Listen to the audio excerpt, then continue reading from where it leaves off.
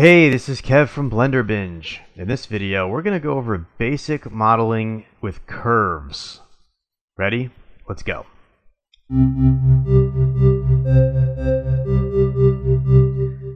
So I'm going to start by going to Create, and underneath Mesh, we have another section called Curve. And in my videos, I have not touched this yet, for good reason. So curves allow us to very similar to Photoshop and Illustrator or Inkscape, uh, you can create paths. So what I'm talking about here is if I hit circle, and this is the easiest to show you with, and I go into edit mode, okay, so I changed from object mode to edit mode, or I hit tab on the keyboard, I have a circle that's made out of these Bezier curves.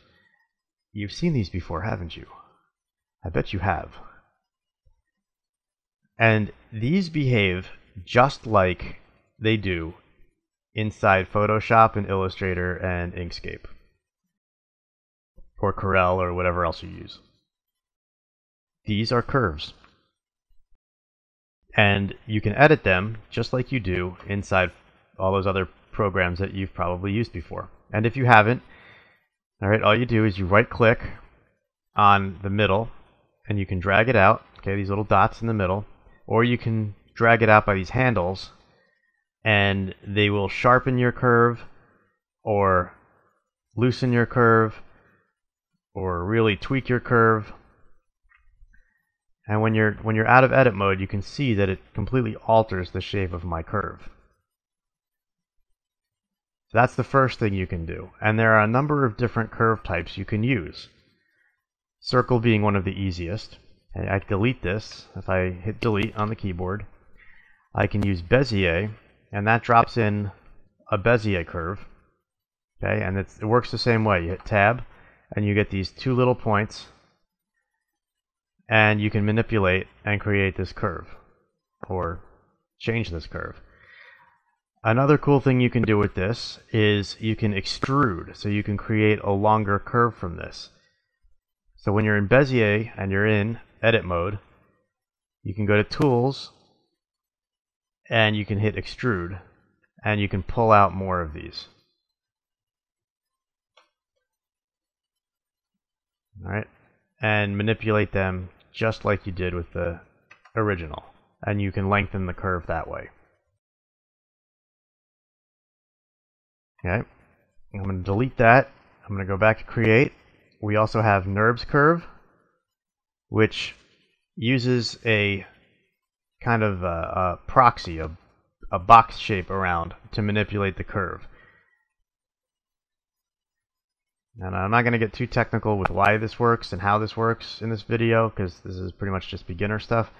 But just know that this is this is how it just creates this sharp angle around here and you use this to control the shape of the curve. And it works the same with the NURBS circle. A NURBS circle is different than the Bezier circle because the NURBS circle just draws a, uh, a, a box around your object and you you manipulate the curves by pulling and pushing on the box. Okay, it's this.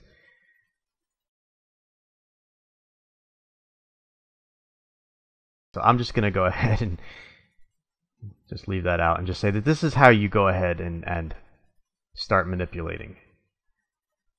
When you're done, you just hit tab again and there's your shape. And the last thing you see here is path. So if I were to delete this and I hit path, okay, this goes in and it gives you a straight path. So you can go ahead and tweak this and it's it's NURBS based. So it's similar in that you go ahead and pull on these square points and manipulate your curve that way. All right. And underneath path, there's draw curve. And the kind of thing that I see infuriating a lot of people on the forums and things is that you, you can't just like you can't just go and hit draw curve and go in and draw a curve. I, am not sure exactly why. I, I, I'm sure that the awesome people who dedicate lots of free time to developing Blender so that all of us can use it for free and have fun with this um, coded it that way originally. I, I don't understand why, but I'm just going to say that they have their reasons and that I'm cool with that.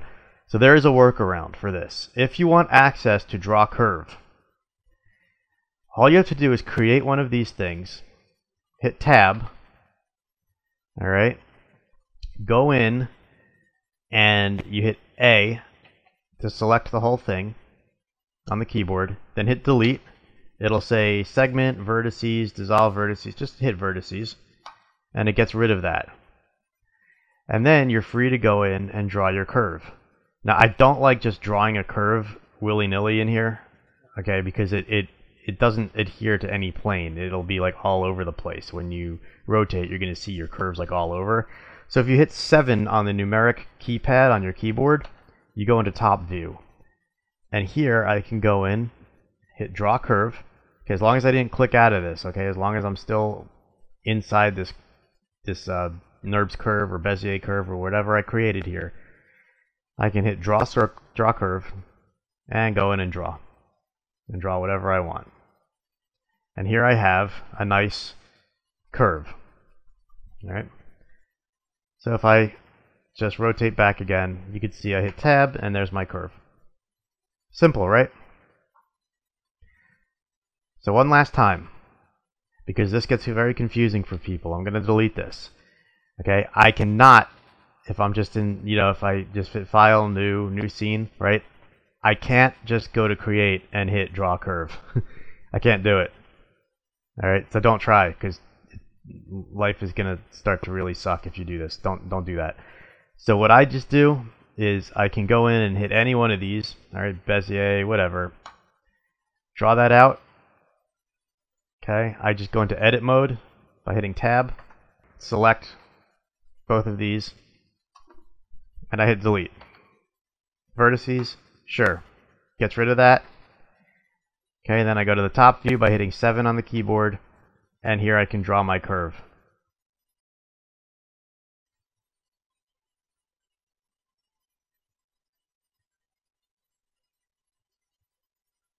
There's my curve. Hit tab, I drew a K. Who? Kevin. K. That's how you create curves. In the next segment, I'm going to show you now how to go ahead and start making shapes out of this. So to do that, here is this little curve data button. You click that, and it goes to properties for this curve. I can now go in and I can say my shape is either 2D or 3D. Right now it's 3D. If I hit 2D, it'll fill this in with a renderable surface. It's not polygon. It's still it's still uh, curves, but it's renderable, meaning it will render. Right? And now I have access to some really cool tools here where I can go ahead and say modification down here. I can hit extrude. Ooh, gives it some thickness. I can bevel it, okay, by creating a little bit of a bevel, give it a nice little edge. And I can control the resolution, how many, how sharp this edge is. Okay, right now it's at zero, so it's just going from this this curve to this curve, and it's just filling it in. I can hit resolution and round that off, so now I have a nice rounded edge. And I can really control the look of my of my K. Cool, right? I also have 3D. 3D will get rid of this fill and leave me with just a nice extruded outline. And it defaults to half, so I'm going to change that to full and now I have a nice shape, renderable shape, okay, created out of my my letter.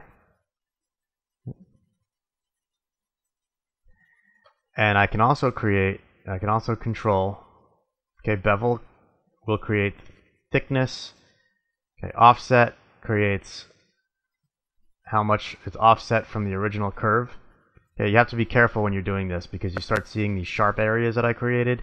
They start going really kind of kind of funny. Okay, I have my extrude depth. So if I just wanted to kind of fill in the wire, I could do that. Okay. I could say how round my wire is, how thick it is, how thin it is, just by messing with resolution here. And that allows me to go ahead and create shapes based off of the curves. Okay, and this is a very basic video, so this goes a lot deeper where you can start using this stuff to create objects with, like beer bottles and walls and all sorts of stuff. I know people that do model cars based on NURBS and, and, and curves. So this gets really deep. Okay, I personally, for most things, I like to stick to polygons because I find it's faster for my workflow. But other people love curves, and they're very useful for a lot of things. If you're creating, you know, a video game environment with lots of wiring, or some cool like motion graphics piece that has wires and stuff, this is really really cool for that. And uh, a number of different things, like like I said, you know, architecture, walls, things like that, where you're going to want to draw things out and then extrude them. So it can be pretty fast for that sort of thing. So go in and play with this.